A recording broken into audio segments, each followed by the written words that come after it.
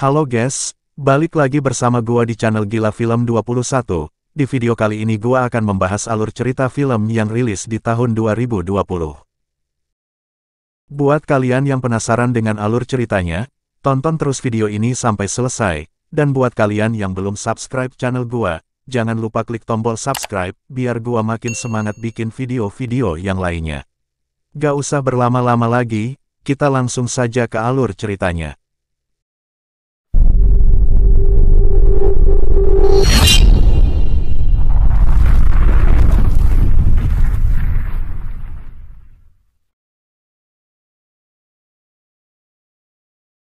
Film diawali, dengan diperlihatkannya sepasang suami istri bernama Daihi dan suaminya bernama Minso. Di pagi hari itu diceritakan kalau mereka berdua baru saja selesai bermain futsal bersama. Dan di sini kita pun tahu kalau Minso sebelumnya merupakan seorang duda yang ditinggal istrinya meninggal. Dan di sini ia memiliki satu orang anak laki-laki remaja. Setelah kepergian istrinya Minso pun perlahan-lahan bisa melupakan kepergian dari istrinya dan sekarang ia sudah menikah lagi dengan seorang wanita bernama Daihi di mana Daihi ini usianya bisa dibilang jauh lebih muda dari usia si Minso.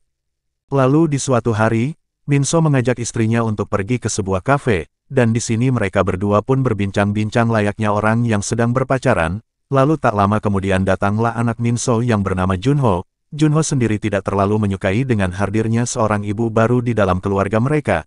Tak lama duduk bersama ayah dan ibu tirinya, Junho merasa tidak nyaman berada di sana dan ia pun memutuskan untuk pergi meninggalkan mereka. Minso dan Daihi tak terlalu menganggap serius tentang perilaku anaknya, dan di sini mereka berdua pun melanjutkan perbincangan mereka.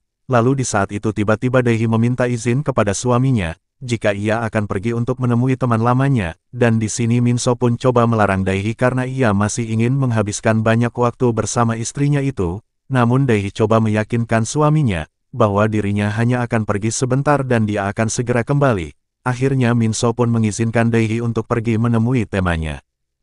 Singkat cerita Daihi pun bertemu dengan temanya yang bernama Vivi.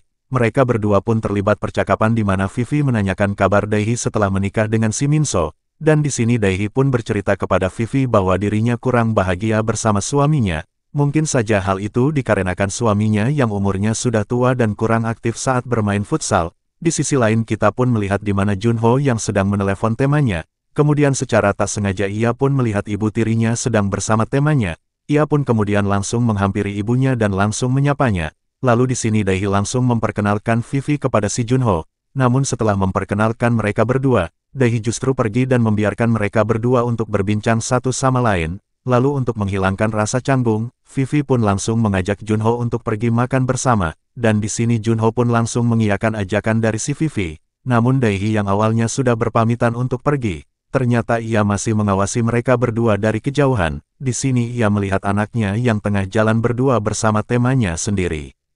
Lalu, terlihat Vivi dan Junho yang tengah menikmati makanan di sebuah restoran, dan di saat mereka sedang makan tiba-tiba di sini Vivi sempat merayu Junho dan berkata kepadanya kalau dirinya ingin ditemaninya bermain. Junho yang mendengar perkataan dari si Vivi sempat merasa gugup sambil berkata iya karena ia sendiri tak bisa menolak ajakan dari si Vivi. Setelah mereka selesai makan, Vivi pun mengajak Junho untuk mampir sebentar ke rumahnya. Lalu setelah sampai di rumahnya, Vivi pun langsung mengajak Junho untuk bermain futsal bersama dirinya.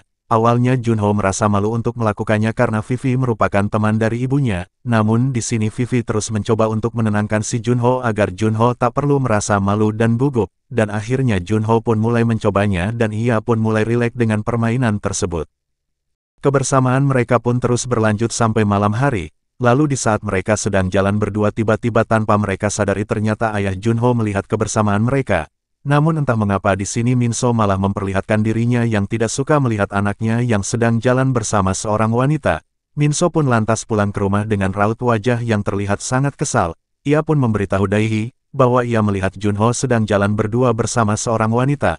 Lalu di sini Daihi pun coba menjelaskan kepada suaminya, bahwa wanita yang sedang jalan bersama si Junho itu merupakan teman baiknya. Daihi juga mencoba mengingatkan suaminya agar tidak terlalu melarang anaknya untuk bergaul dengan siapa pun. Di keesokan harinya, Daihi coba menelpon si Vivi dan meminta si Vivi untuk segera datang ke rumahnya. Namun tanpa diduga, Vivi yang baru saja sampai di rumah Daihi dan kebetulan di saat itu ada Minso, di sana ia pun langsung mengajak si Minso untuk menemaninya bermain, Minso yang tidak mau melewatkan kesempatan itu, ia pun langsung mengiyakan ajakan dari si Vivi. Lalu setelah selesai bermain, terlihat Vivi dan Daihi yang tengah duduk dan berbincang. Diketahui Vivi melakukan hal tadi, atas perintah dari Daihi, yang menyuruhnya untuk mengajak suaminya bermain. Perbincangan mereka berdua pun tanpa disadari didengar oleh si Junho yang membuat dirinya pun merasa marah. Ketika Vivi pulang, Junho pun langsung mengikuti Vivi, dan ia ingin berbicara dengannya. Di sini Junho menanyakan tentang maksud Vivi yang telah mengajak ayahnya. Namun di sini Vivi tidak menjelaskan apa pun, ia justru menyuruh Junho untuk langsung menanyakannya kepada si Daihi. Di rumah, terlihat Daihi yang tengah duduk seorang diri, dan di sini ia pun mulai bermain-main dengan kedua bola bekelnya. Lalu saat sedang melakukannya tiba-tiba Junho datang, dan melihat apa yang sedang dilakukan oleh ibunya. Hal tersebut membuat Daihi pun merasa terkejut, dan di sini Junho berkata kepada Daihi, jika ia sudah mengetahui semuanya, ia yang tidak bisa menahan perasaannya kepada sang ibu. Akhirnya ia pun mengajak Daihi untuk bermain futsal bersama dirinya, lalu tanpa mendapat penolakan dari si Daihi. Akhirnya mereka berdua pun langsung melakukan pertandingan futsal, dengan penuh semangat dan perasaan yang gembira. Dan film pun selesai.